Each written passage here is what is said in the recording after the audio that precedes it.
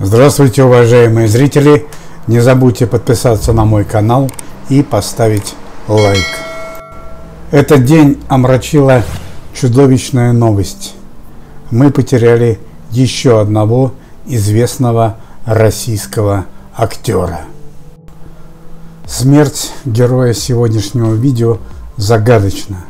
Он скончался не от коронавируса, не от онкологии, не из-за возраста.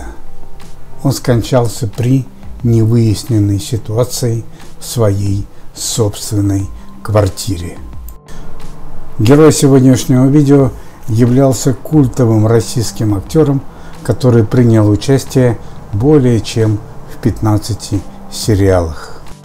Активная кинокарьера героя пришлась на 90-е годы прошлого столетия и на нулевые годы нынешнего века. Совсем недавно в своей собственной квартире, где проживала его мать, после 10 суток поисков обнаружено тело культового актера Максима Михайлина. Максим Михайлин – основной актер многих сериалов, том числе культового сериала «Марш турецкого». Максим Михайлин скончался на 52-м году жизни.